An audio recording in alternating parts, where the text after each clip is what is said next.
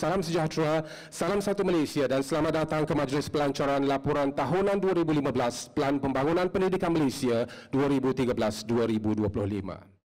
Sepanjang gelombang 1 2013-2015, Kementerian telah memberi sokongan kepada semua peringkat dari pengurusan kementerian hinggalah kepada pelaksana, iaitu guru-guru di bilik darjah. Pencapaian gelombang 1 saya bersyukur kerana kita telah melepasi gelombang satu untuk mencapai lima aspirasi sistem dan enam aspirasi murid menerusi sebelas anjakan dalam pelan tersebut. Kini kita sedang melangkah masuk ke gelombang dua 2016 hingga 2020. Selari dengan aspirasi ini demi memastikan tahap kanak-kanak di Malaysia mempunyai akses terhadap pendidikan, KPN telah menjalankan program komprehensif untuk meningkatkan kemasukan murid prasekolah sehingga ke peringkat menengah atas. Gelombang satu telah meletakkan tiga keberhasilan utama iaitu 100% murid menguasai literasi dan numerasi selepas tiga tahun persekolahan. Peningkatan enrollment murid dan yang ketiga pengurangan 25% jurang antara bandar dan luar bandar. Pelbagai inisiatif yang menjadi fokus gelombang satu, program transformasi daerah, linus, peningkatan kemahiran guru dan pemimpin melalui piagam guru dan piagam pemimpin serta inisiatif lain yang menjadi prioriti. Antaranya adalah linus atau program literasi dan numerasi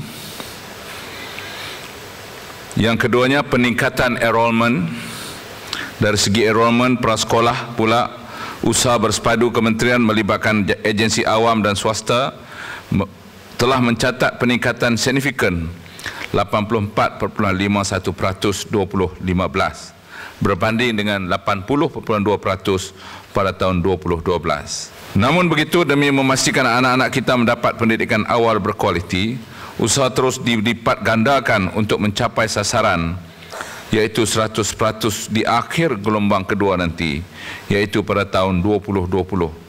Kadar kemasukan murid sekolah rendah turut meningkat kepada 97.9% pada tahun 2014. Kadar ini mengatasi kadar enrollment universal 91% sebagaimana dilaporkan oleh United Nations Development Program 2015. Ya, untuk uh, sasaran uh, gelombang kedua ni yang uh, kita still macam tu juga, kita still ada perpaduan, perpaduan, uh, access, quality kita kita kita masih kekalkan. Cuma assessment mungkin kita nak up to the international standard. Ha, kalau kita dah ada gelombang satu, so kita move to gelombang kedua, ha, kita nak uh, macam contohnya kita ada international punya uh, uh, assessment macam PISA macam TIMS uh, jadi itu yang kita kita nak tengok. Uh, benchmarking kita lah. Benchmark kita di mana? Dari segi kualiti pendidikan